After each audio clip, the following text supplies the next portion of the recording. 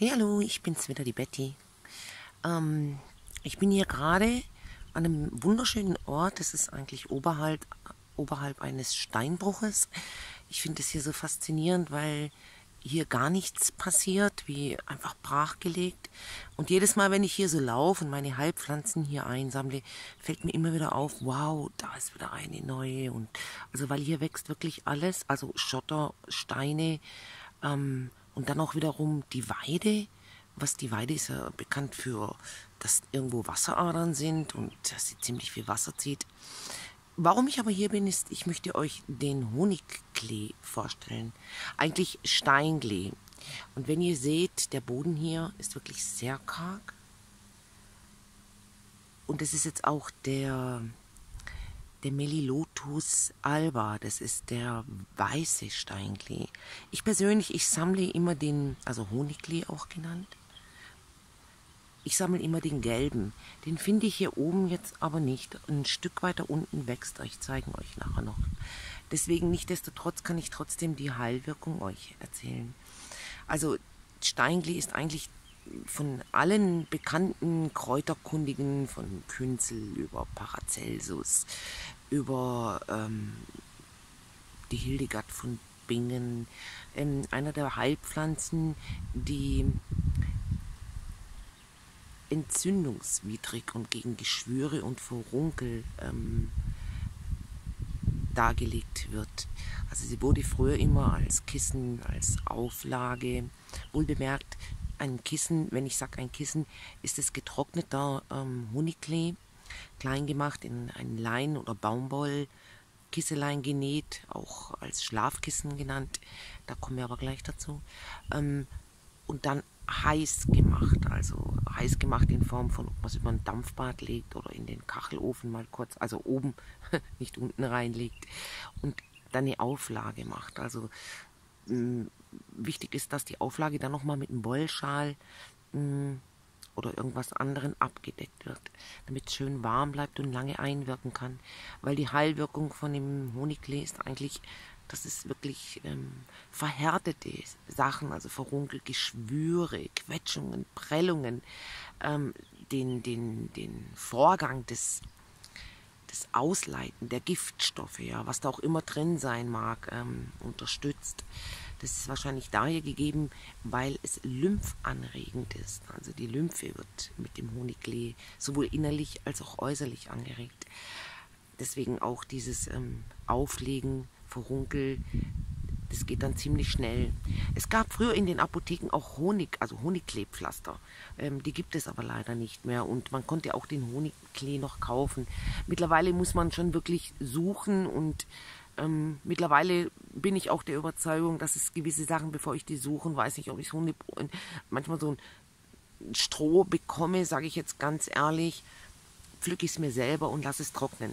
Das Faszinierende an dem Honigklee, also wohlbemerkt der gelbe, ist, wenn ich den trockne, ja, dann, ich pflück den an einem so schönen Tag wie heute, an einem luftigen, schönen Tag und hänge den auf in dünnen Strängen, also an einem trockenen, schönen Ort. Nicht in der Sonne und auch nicht im feuchten Keller, sondern meistens ist es der Speicher oder der Vorraum vom Speicher.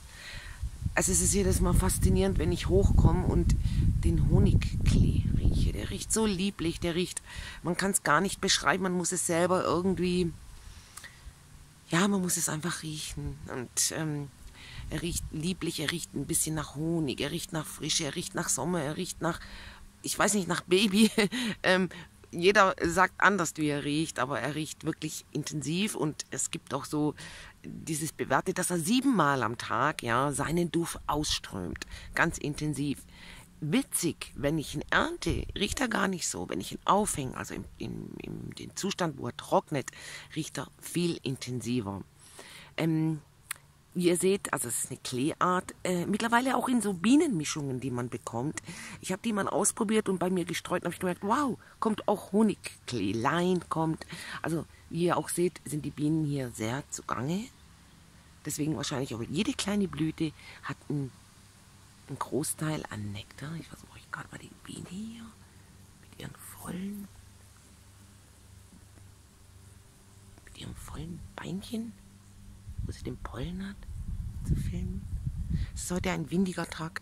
Ähm, der Honiglee ist auch wirklich sehr gut gegen Augenleiden oder Augenerkrankungen als Auflage, also als Teeauflage, als reinen Tee im, im abgekühlten Zustand, auch oder als Kisselchen drauf machen, aber aufs Augenlid oder mit dem Augenglas, und das kriegt man in der Apotheke, Waschungen zu machen. Also ich habe das selber ausprobiert.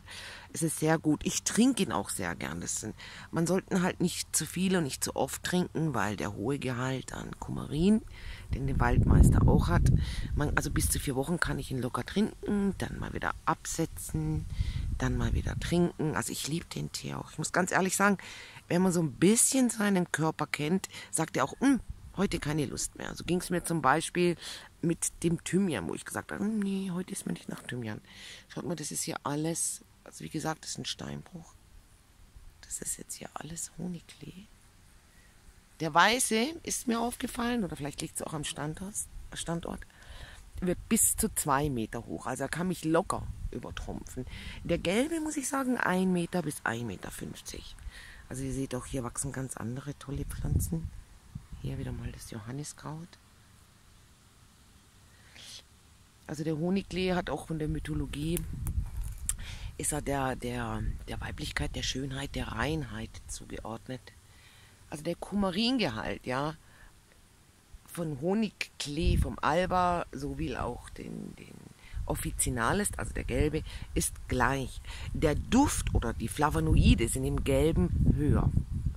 Also Flavonoide sind ja auch immer diese Stoffe, die uns innerlich schützen, die Elastität unserer Venen und ähm, alles, was irgendwie mit Elastität zu tun haben muss, unterstützt. Also die Mythologie, Entschuldigung, ich, ich springe manchmal von A nach B, aber egal, ähm, ist er der Frau zugeordnet, also auch wieder der Venus, ja. Es, die alten Germanen oder auch die, ich sag jetzt mal, im alten antiken Griechenland wurden sogar die die, die neuen Musen, also die dem Honiglee ge, geweiht oder umgekehrt, das Museum, die Musen dem, wurden dem Honiglee gegeben, also als äh, untergeordnet. Also die neuen Musen waren ja die, die, die Göttinnen der Wissenschaft und der Künste, also die Tochter von, wer war das nochmal? Jupiter und hm,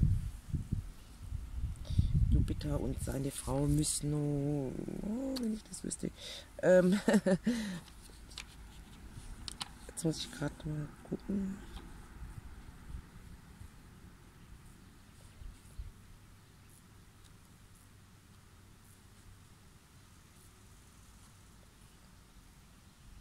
Naja, ist auch egal.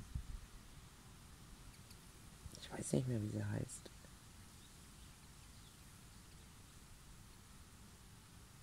Ah, Menosyme, Mensch, Entschuldigung. Also Jupiter und Menosyme, die neuen Töchter, die neuen Göttinnen der Künste und der Wissenschaft wurde der Honigklee ge also geehrt. So, also, das waren die alte antike Griechenland. Die treffen sich ja auch immer wieder.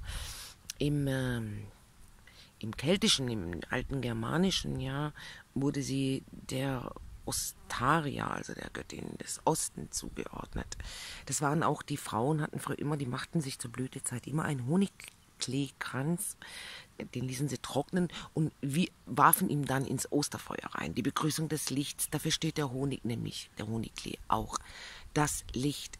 Also man sagt, für die Psyche, ja, ist der dunkle Gedanken vertreibend, ähm, liebliche Gedanken hervorholen, in einen Zustand des, des ich sage jetzt einfach mal, der Ausgelassenheit, der, der, Gelassenheit, der Ausgeglichenheit. Also wer jeder, jeder, der den Honiglee mal getrocknet hat, der, also der muss sich einfach sagen, wow, also es ist ein wahnsinniger Duft. Also ich persönlich, ich hänge den eigentlich auch gerne in die Küche, ein kleines Beutelchen.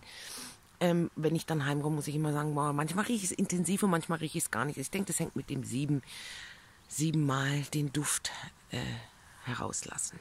Also erntet ich euch den Honigklee, hängt ein bisschen auf, macht euch Duftkissenchen für das Bett, vielleicht noch mit Zitronenmelisse und Rose rein, bringt schöne Träume hervor.